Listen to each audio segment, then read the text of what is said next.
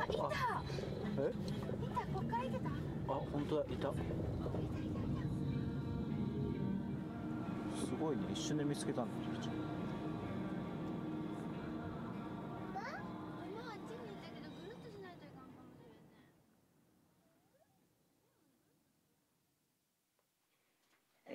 明日馬を見に行こうと思います。むっちゃん行く？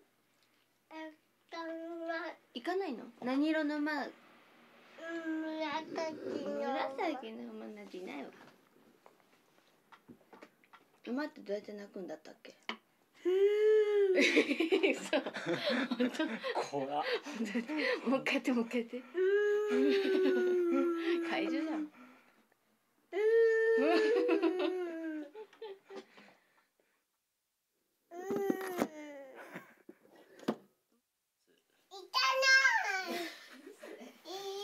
行こうよ馬見に行かないの？ロロ。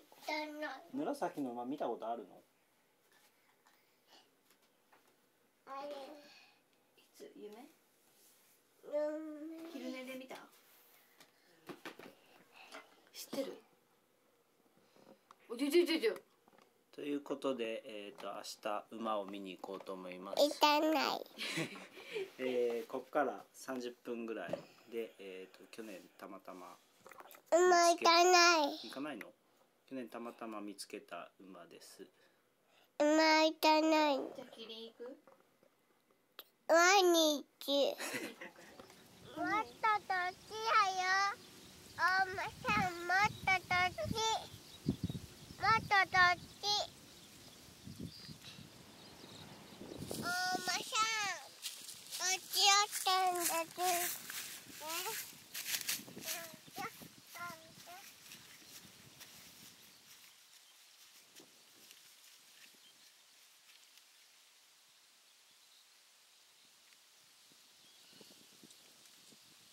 おまさんこっちに来て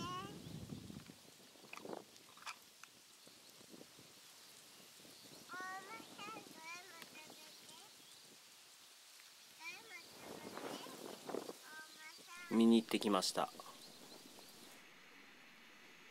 えー、去年たまたま見つけたこともあってもう少し迷うのかなとか思ったんですけれどもあっさり到着しました。電車が通って馬がいて水田があって奥に山があるみたいな、えーダイナミックな風景で子供は馬に草をあげたりしていましたそもそも馬が見たいと思ったのは、えー原発の周辺の町の放射線量を測りながら、えーその町の住人を取材するみたいな番組があって、えーその中で競走馬を育てている家族が取材されているのを見たからです。えーその家族はもうすぐ出産を迎える馬がいるのでその場所を離れれないみたいな状況でした、えーテレビで馬を見てこの馬のことを思い出して見に行こうと思いました。